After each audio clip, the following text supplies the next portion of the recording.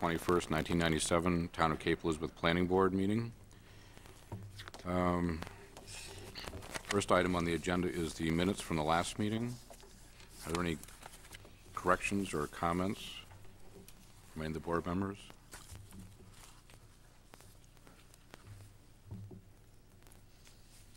If not, do I hear a motion?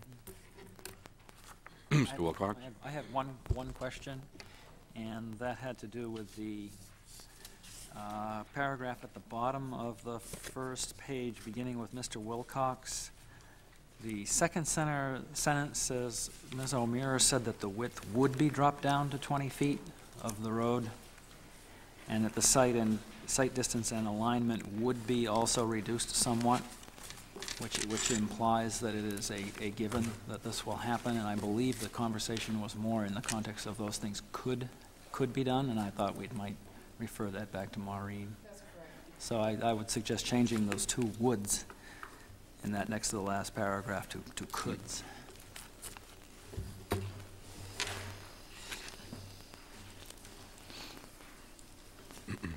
Any other comments or corrections? Can I hear a motion? Move that they be approved as amended? Can I hear a second? Second? All those in favor, please raise your right hand. Unanimous? Um, Correspondence this evening. Letter from Ram, uh, excuse me, letter from Ram Trust Services regarding Monk's Utility Extension. Fort Williams zoning ordinance amendments. Planning Board draft zoning ordinance recommendation. Letter from Mr. and Mrs. Smith regarding Rosewood 2. Memorandum from Town Manager regarding emergency ordinance. Memorandum from Fire Chief regarding Connor Lane. Memorandum from Code Enforcement Administrator regarding Connor Lane. Letter from C. Vaniotis regarding Connor Lane. Letter from Mr. and Mrs. Snow regarding Connor Lane. And report of Planning Board activity 1996.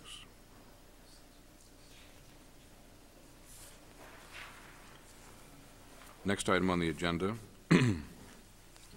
under other business, is election of officers for 1997. Um, Last year at this time, I wasn't uh, paying attention to how this was handled, so I'm not quite sure how to handle it, but does anyone have any nominations for, um, for chair?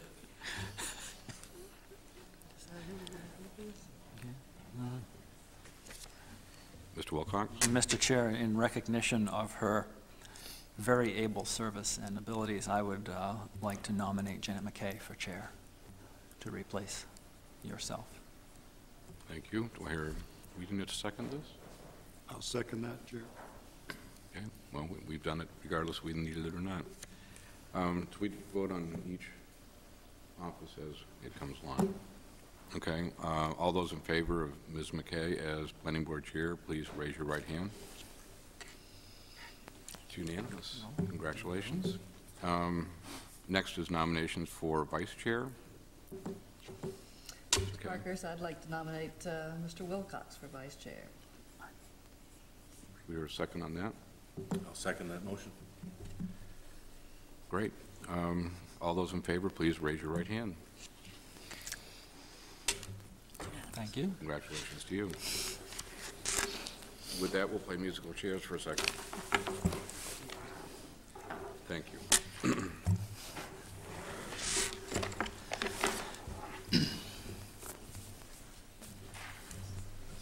Perspective over here. Congratulations. One looking forward to. You like book? No? Okay. Well, this really is not exactly on the agenda, but I, really, my first order of business, I want to uh, say that I truly have enjoyed serving uh, on the planning board under the chairmanship of uh, Steve Parkhurst, and I hope that I can uh, carry on his uh, standard of professionalism and really conscientiousness and attention to detail. Thank you very much, Steve, for Thank your you. service in the past year. The next order of business is the consent agenda, the library en- entrance addition, request by the town of Cape Elizabeth for approval of an entrance addition to the Thomas Memorial Library. Section 19-2-10, site plan review. Um,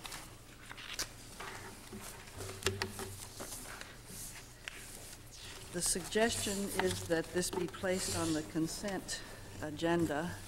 Shall we hear from the town planner, or is there any need to do so? Uh, The consent agenda is an opportunity for the board to approve minor amendments to previously approved site plans.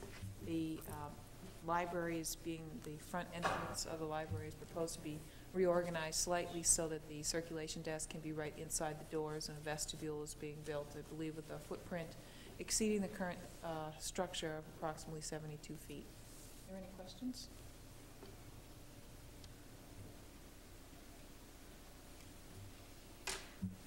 We did have materials in our packets that uh, describe this addition. And if any board member has any questions about it whatsoever, it certainly can be placed on the regular uh, agenda as opposed to the consent agenda. So I would ask if anyone uh, has any interest at all in, in uh, placing it on the regular agenda. Seeing none, hearing none, do I hear a motion? Mr. Parkhurst. Motion for the board to consider, be it ordered that the consent agenda be approved. Second? Second. Thank you, Mr. Wilcox. Any discussion? All in favor of uh, the motion that the consent agenda be approved, raise your right hand. Unanimous. Thank you very much.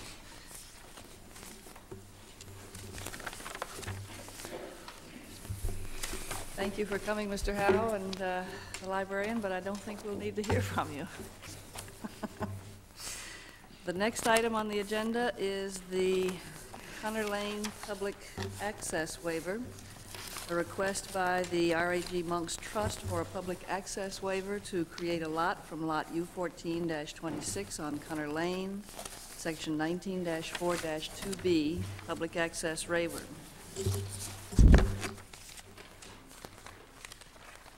Rick, would you like to uh, introduce yourself and briefly describe the project? Yes, I would. Thank you, Mr. Chairman.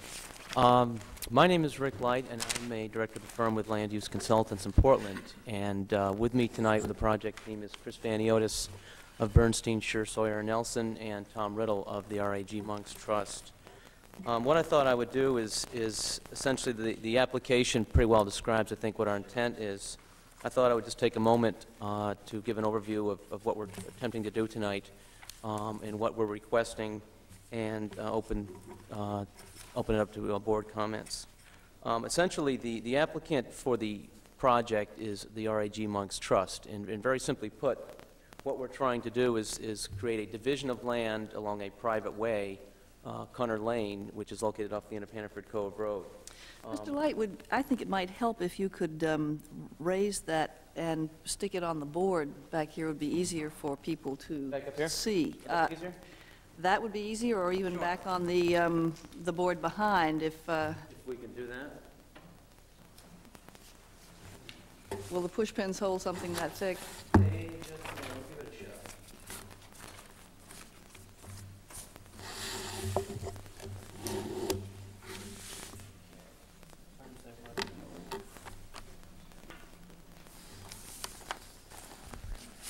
Nobody breathes. Look at that. Thank you very much. Is that better? Yes. Okay. Um, The, the project, again, I think the reason we're here is simply put, we're looking for a public access waiver, uh, requesting it on on the basis of being, one, a, a lot that is on a private way, which is Connor Lane, and number two, uh, we are breaking a, a single lot into two lots, one lot which will have reduced frontage, which is less than 200 feet, which is the minimum. And and just, maybe I'll take a second to go quickly over where the project is and describe what's there now, and then express what we, the waivers that we're looking for and why we think we meet the standards. Um, In particular, this is the end of Hannaford Cove Road, the paved portion of the road right now, it's Dix's Cove. And this, this color here is the beginning of what they call Connor Lane, which is about a 10 to 12 foot wide gravel, unimproved uh, private roadway, which is located in and out of a 20 foot wide as you can see in your plan, uh, better than you can up here, 20-foot wide right-of-way. And the, the public portion of the roadway is, ends at Hannaford Cove Road, road up here. The property we're looking at is a 7.6 acre piece of land, which is known more uh, locally as the the Venerable Hunter Association Propeller Club, which is this building right out here. And currently, the entire 7.6 acre property, uh, for reference, the two lights towers, east tower is right about here, if you look at the plan. This is the dwelling that's being occupied right now as a single-family residence, and there's now a parcel studio and shed on the property. Uh, What we're looking to do is, is with, with a lot of this nature, and market being what it is, is we're looking to divide and create a second lot, uh, which is, we're gonna call Lot Two. Lot One would remain with, with five point two acres of land, Lot Two with two point four acres of land. What happens when we create this lot here, of course, looking at the public access waiver, we've asked ourselves, do we or don't we meet the standards? And let's take a look internally as a project team on how we meet those standards. I think we can try to describe those in the application. And going through the standards, there are several things that we wanted to bring to the board's attention. One is, being on, a- a narrow way like this, one of the first concerns we had was in terms of meeting the standards, is can we make fire access? Can we get the vehicles, the the chief's vehicles on the roadway? Uh, we met with the fire chief early on in the project, and, uh, uh, in doing so, it was determined at, at that time that we might need to create a easement on the corner of this, this tight corner in here. Again, the roadway again is, is basically, you know, ten to twelve foot of gravel, not very wide, but it certainly is adequate, has been used adequately for years and years by the uh, abutting residents. So the plan depicted in front of you shows uh, the intention of creating a small easement here, would allow for emergency vehicles and, and basically a widening of the road by about seven feet. In your package, uh, you'll find a letter, I believe, from the chief that we were copied onto, which upon further review, he actually took his truck out to the site and determined that he doesn't need additional width of roadway, that the existing width is adequate for the emergency vehicles. So one of the things I'd like to point out right in front is that although we've shown this on the plan, uh, unless the board has, uh, differs in, uh, from the chief, we would just as well remove that, uh, condition of the plan or, um, as need be. The, uh, the lots that we're showing here, uh, for point of reference, the, the frontage of the roadway begins at about this point here. This, of course, is the ocean, a beautiful broad point of ledge and rock out here from the existing dwelling. And the frontage of the roadway is measured, it's about four hundred and twenty-three feet, more or less, along Hunter Lane. We certainly have adequate frontage for two lots, um, if we were to simply draw a lot line down between the two lots, necessitating a public access waiver only might need to be in a private way. However, from a planning standpoint, we've taken a look at the land out here, again, it's a sizable piece of land. Um, the abutting lots in this neighborhood, as, many of you are probably well aware, are smaller, uh, acre-style lots, uh, where the current zoning, of course, is two acre. And we felt that it was prudent and, and wise from a planning standpoint, it, it- it's just, the- simply put, it's the best place to put a building window, would be in this area of open field of, of, on the site there. There are, uh, several photographs in your application that show both Hunter Lane and also, I think, a view along Hunter Lane looking at this part of the property to get sort of a feel of how a house might sit. So we thought it was important in in devising this plan to create a building window that, that suited the lot, so to speak. And in that, in doing that, uh, we decided that it simply made sense because it's allowable under the provisions the public to reduce the frontage on this lot to hundred and twenty-one feet more or less, and put the remainder of the frontage in the second lot simply because artificially create a lot line simply to meet performance standards of frontage, it simply, uh, wouldn't create an irregular lot, so to speak. Um, We, in the application, I think we've shown that we have right title or interest. We have the subject deed for the property and some background and additional information from Chris Vaniotis regarding the right title or interest.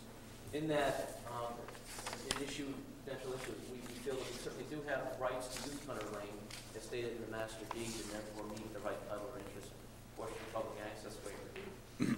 Um, Several waivers that we are looking for specifically in order to grant the public access waiver in the ordinance would be, again, the lot frontage, which is section nineteen point three one on lot one, from two hundred feet to roughly one hundred and twenty-one feet.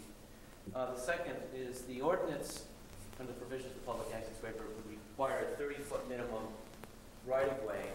Uh, Lane, again, is only a twenty-foot right-of-way. Um, Third waiver would be uh, under section nineteen point four point two, the uh, public access waiver provisions. would be that of pavement width. Again, first of all, this is not a paved road, but an- a gravel road uh, used by the abutting residences, and its current width is only uh, 10 to 12 feet, uh, a little wider in areas down through here. For the sake of discussion, it's, uh, the ordinance requires a minimum of 22 feet under the public access waiver provisions, and we are, uh, again, we look for a waiver down to 16, 12 foot, uh, 12 foot uh, width.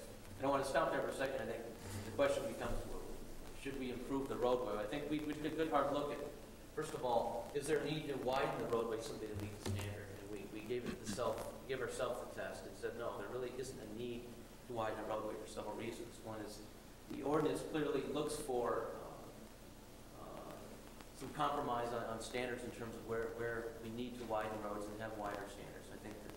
I think that as we read the new ordinances, the subdivision standards are clearly looking to use reduced road widths where necessary. And, and in this case, uh, we feel that there's no, there'll be no overburdening of that roadway by simply adding a second lot. When you've got several just additional dwellings already on that road, and to widen the roadway beyond what's there now, um, would also reduce from the rural character. This is a scenic area. It's, it's, it just would diminish from the character of that neighborhood. It wouldn't serve any real purpose. Again, we, we felt we met the test of, of can we get the fire vehicles down the road? I think we've met that test with the, the chief's letter. So for that reason, we would like to, to reduce the width to twelve feet or keep it the existing width. Uh, another waiver that's required under 1942 is, is having a pavement fifty feet from, excuse me, the, the access fifty feet from the end of pavement. Again, the nearest edge of pavement, again, is Hannaford Cove Road, which is technically, this point here, the edge of property is, is probably about four hundred feet, in the middle of the line, five hundred feet in here. So we would request that, uh, we not be required to pave within fifty feet of the street. And on, on a marginal level, uh, there's a requirement in your ordinance for the driveway, which we've shown here, to have, maintain a two percent or less slope for the first fifty feet. And at this point, uh, if we're gonna ask for waivers, it may be up to the board's discretion whether or not we need to ask for a waiver of this. The slope here is about four percent, again, very gentle, very adequate for a driveway, but technically on its own merits, um, if we have to meet the performance standards, we may look to the board to uh, ease that requirement to a two, per- uh, from two percent to four percent along the beginning of the driveway. Which brings me to the whole driveway, the driveway issues we, on the plan here. We have shown an easement here that complies with the town subdivision standards for a turnaround easement. Uh, in, the- in respect of the forty by fifty foot size easement. And within the easement, on sheet two of your drawings, what we're intending to do here is understanding the need for the fire truck to turn around or emergency vehicle to turn around. There currently is real no defined end of roadway at Connor Lane. Again, you have a gravel way that turns into uh, the driveway into the existing uh, residence here. And the gravel lane just sort of peters out and turns into a footpath actually up uh, Sunrise Drive here, which is not, this is not an improved roadway. It's simply a a walking path at this point. And to add a, a, a large uh, turnaround gravel area there would, again, would detract, it would serve no purpose in terms of the aesthetics. So what we thought would be a fair compromise, that's shown in sheet two of the drawings, would be to provide a twelve-foot wide uh, driveway, however, allowing for a twenty-four, full twenty-four foot wide gravel base with a loam and seed around the edges of the driveway here, and that, again, that's detailed on sheet two of the drawings. And that, the dimensions of that meet the standards of the subdivision ordinance for uh, the town's turnaround. Um, The property, uh, and again, sho- shown in the application, the property here is is already, is currently serviced by underground electric, uh, a septic system and well. The new property would be serviced by a septic system in here. We've shown adequate testing and have completed an HHE 200, which is included in your application. Uh, We propose a well somewhere on this side of the property to meet our setback distances. And again, the building is still a very, very broad and very, uh, uh, very uh, wide building envelope in this part of the property for the adequate siting of the house. It offers a lot of opportunities to site a house very sensitively, rather than being confined to some very small building window. I think on the whole, that more or less sums up our application. Um, Again, our additional request for waivers. Um, At this point, if the board has any questions, we're here to answer those, or anyone in our team has anything to add, I'd be happy to do so. Thank you, Mr. Light. Any questions from board members?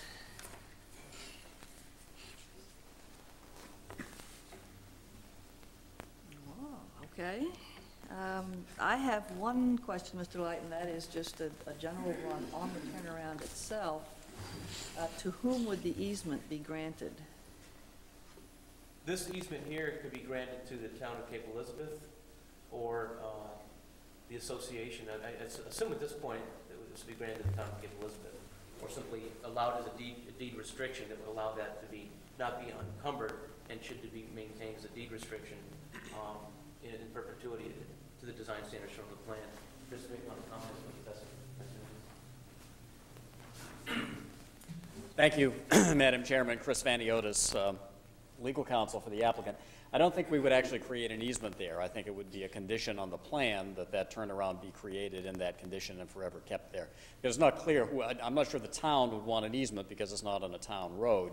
I think by showing it on the plan as a condition of approval, that would ensure that it's left as a, as a turnaround That uh, makes sense. to meet, the to meet the fire department's requirements, too. Thank you. Madam Chair?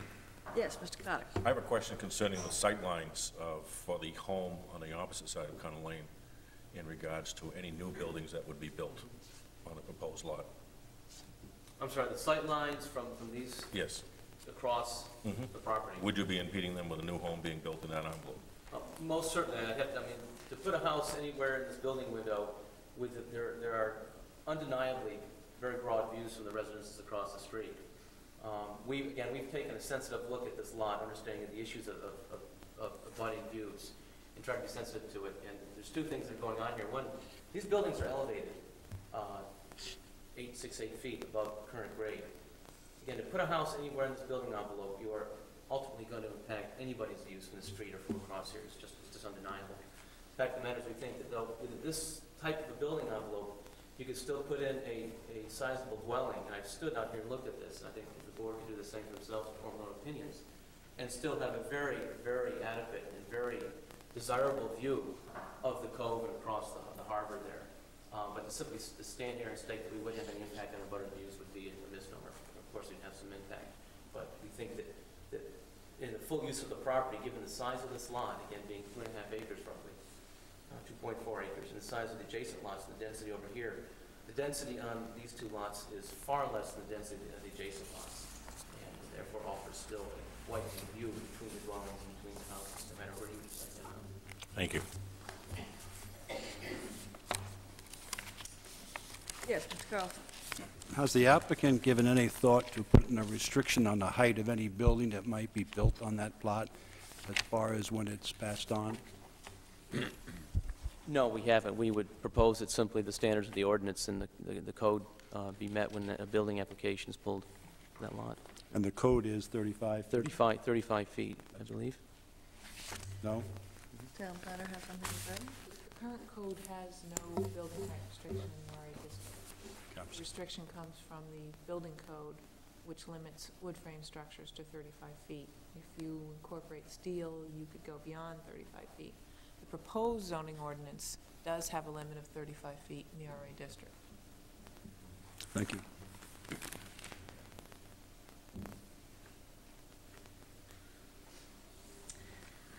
Any further discussion by board members? Well, I One quick, Yes, Mr. Parker. uh, would the applicant be willing to voluntarily limit the uh, height restriction to 35 feet, given the fact that the new uh, zoning ordinance has not been enacted yet?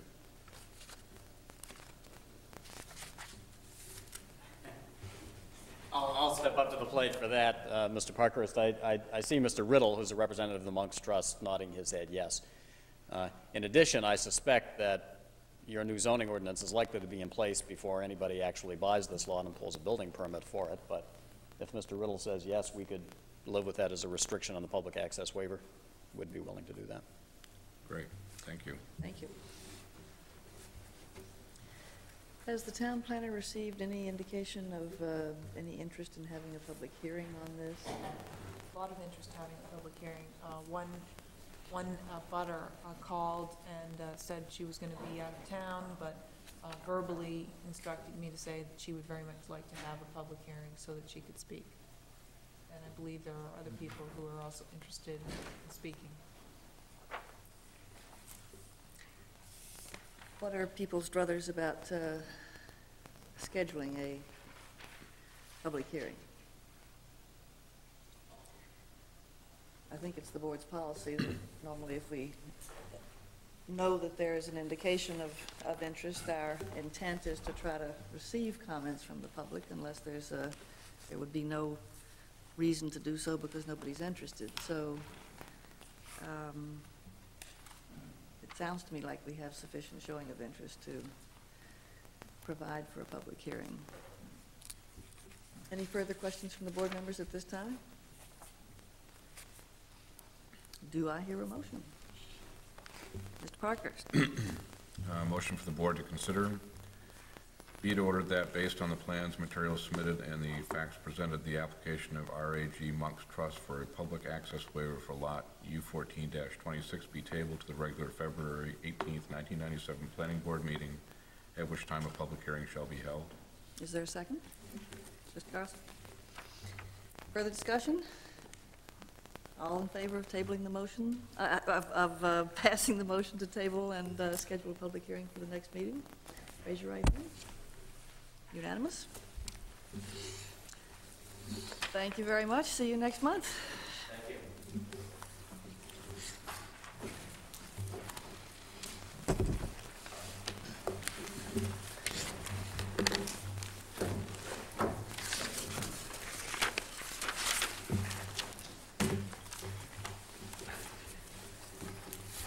Okay, we're right on schedule. This, this is uh, nice. The next item of business is zoning ordinance amendments to the wetland regulations.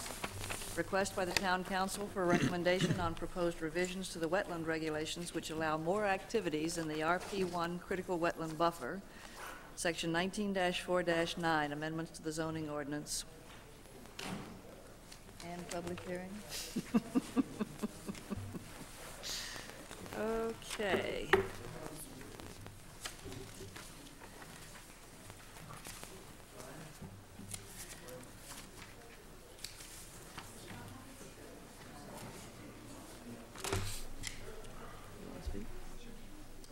Um, Before you are a series of amendments that were initiated by the ordinance committee and discussed by the planning board at, I I believe, two workshops. The draft you have in front of you is supposed to reflect the changes you requested based at the last workshop, and I can go through each one of them. Um, I do want to note that under the, um, the zoning amendments, the board has the option, but is not required to hold a public hearing. Um, In conversation with the former planning board chair, uh, we agreed that we would, we would provide the legal notice for tonight's meeting, so the board could hold a public hearing, therefore you could be able to expedite this tonight if that was your desire. Is there any desire in anyone for me to either go through these descript, these changes one by one, or I can just answer any questions? I think we've gone through it uh, quite thoroughly in workshops, so my sense would not be to have Ms. O'Meara go through it bit by bit. Has anybody got any comments to the uh, draft dated January the 10th, 97 that was in your packet?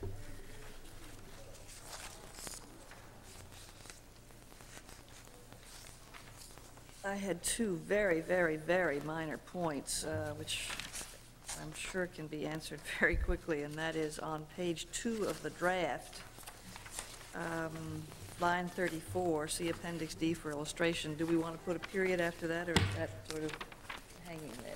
for- Okay. And I just want to make very sure that in line 38, when we say in the case of an existing main building, that we are talking about a main building and not a structure.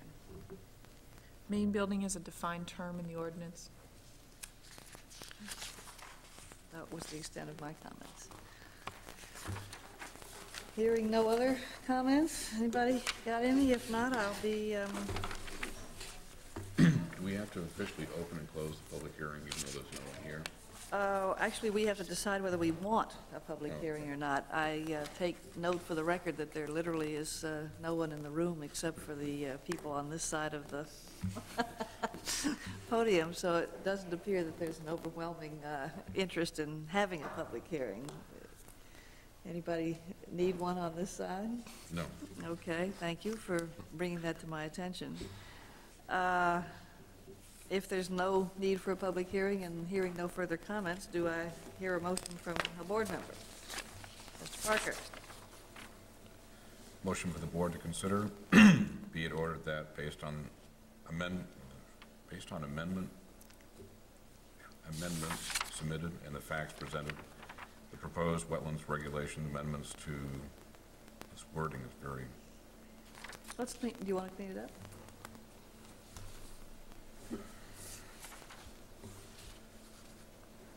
Okay, um, be it ordered that based on the amendment submitted and the facts presented, the proposed wetlands regulations amendments to the zoning ordinance sections 19-2-8-02, 19-3-9-06, and 19-3-9-12 and the zoning map be recommended to the town council for adoption. Do I hear a second? Second? Mr. Cotter? Further discussion? All in favor of the motion, set- raise your right hand. Unanimous? That's it. Having no further business to come before the meeting, uh, do I hear a motion for adjournment? So moved. Second? Second. All in favor? Thank you very much. We'll be